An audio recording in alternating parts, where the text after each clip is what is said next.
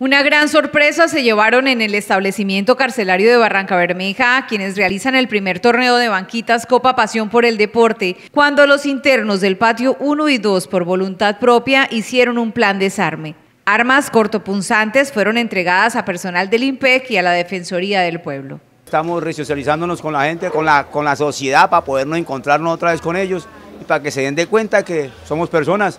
Este, eh, las familias de nosotros para que se den cuenta que este, estamos este, por un camino del bien, no vamos a seguir en lo mismo. De pronto, el pensamiento de cada quien, de pronto este, sí, eh, nos lleva mal a uno, pero no. Aquí estamos este, haciendo una vena de convivencia, de paz, para ir en armonía este, y, salir a la calle como personas que somos. Con esta iniciativa, internos de la cárcel mostraron su interés de resocialización en el marco de una iniciativa deportiva que les ha permitido gozar dentro del establecimiento carcelario de un momento de sano esparcimiento, sintiéndose ganadores en cada partido. Bueno, este acto genera tranquilidad, genera alegría, genera un compromiso más para trabajar por eh, los derechos humanos del personal privado de la libertad, por seguir eh, el mandato institucional. Este acto que hacen los privados de la libertad para convivir en paz, en armonía, en convivencia,